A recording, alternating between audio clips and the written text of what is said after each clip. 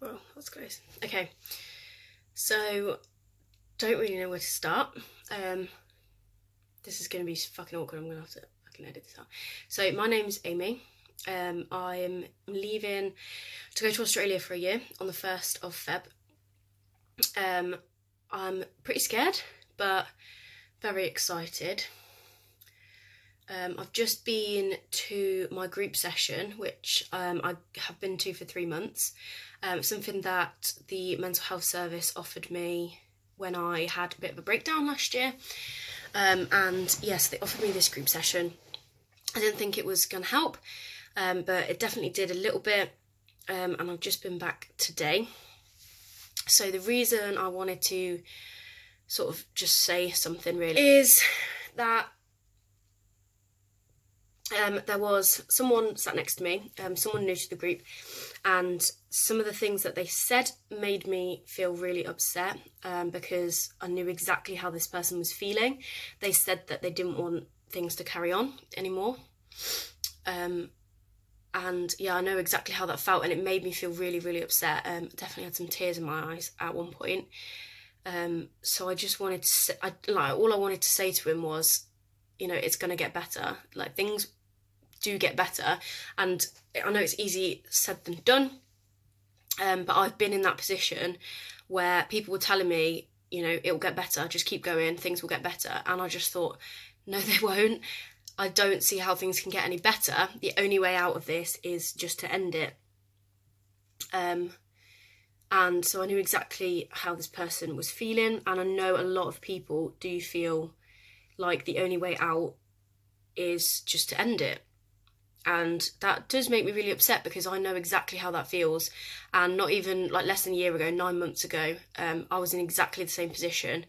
And if someone had said to me, you know, in nine months' time, you're going to be feeling amazing and off to travel the world on your own, um, I would have thought, like, no, definitely not. I would have thought, you know, nine months' time, I probably wouldn't be here. Um, but something in me clicked.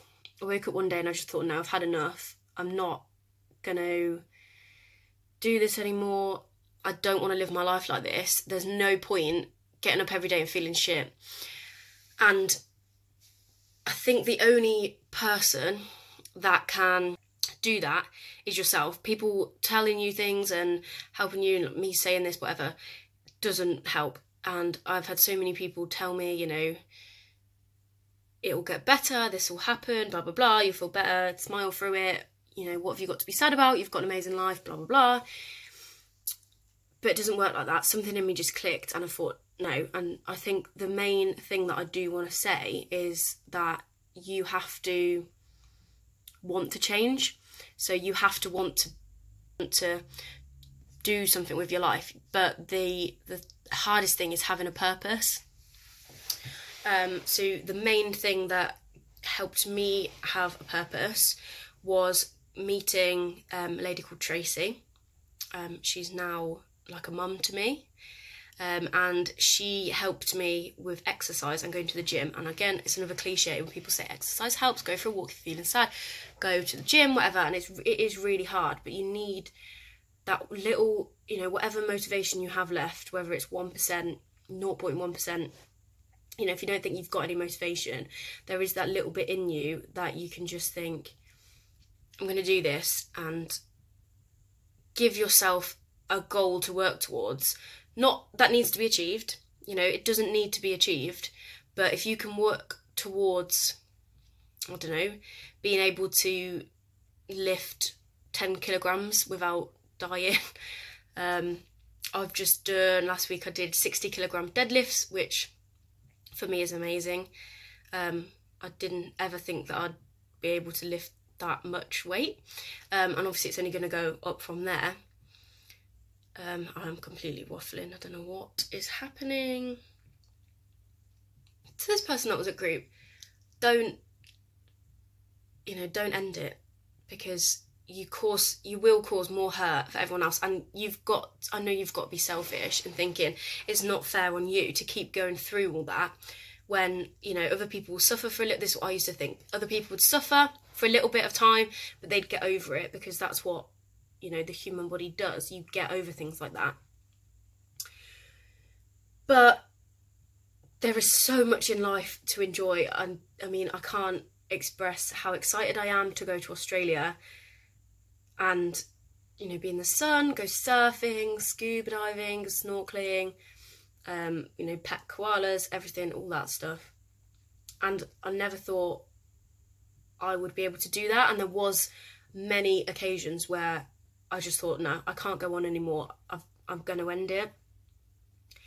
And obviously, I wouldn't be here to know about that if I had.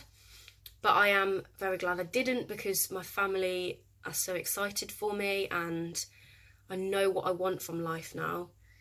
Um, and it feels so good to be happy. And I don't think, I think I don't realise how happy I am now until today at group I was obviously with other people that aren't happy um, aren't happy in their life aren't happy with themselves and I think it took me going back today to realize how good I am um, and how happy I am and how far I've come in the last um, like six months a year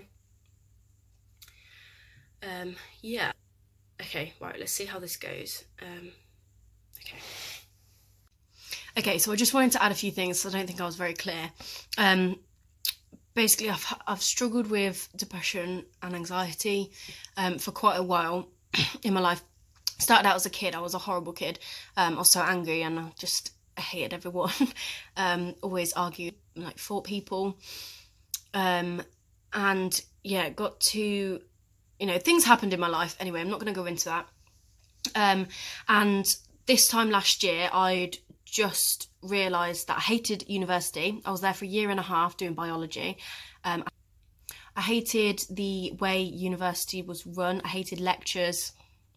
I hated all the spare time we had to do nothing. I had nothing to do in it. That was the problem. Um, I had didn't really have that many friends. I did have some, um, and in second year, I definitely made um, more of that. So I went out more. I joined hockey team, cricket team, um, and I did do more things. But I got to the end of my second year, first semester exams, and um, I just thought, I hate this. Um, I don't want to be here. So I quit, and that was such a big thing in my life um, for me to quit that. And I came home, moved back, and I was really excited to sort of start again. and I got a job at a place, um, which I'm not going to mention. Um, and it was awful. So um, I spent the whole time sat doing nothing. We had no work to do at all. Um, and no matter how much we asked our manager, um, there was just no work for us to do. Um, they couldn't give us anything to do. There just was nothing. Um, and it really just put me down because I had no purpose. No one was relying me for on anything. No one needed me. Um, I just felt like I was useless. Um, and that went on for three months. Um, and yeah, then I, um, after I met Tracy, I had enough courage to quit that job. Um, it was quite messy, but I quit.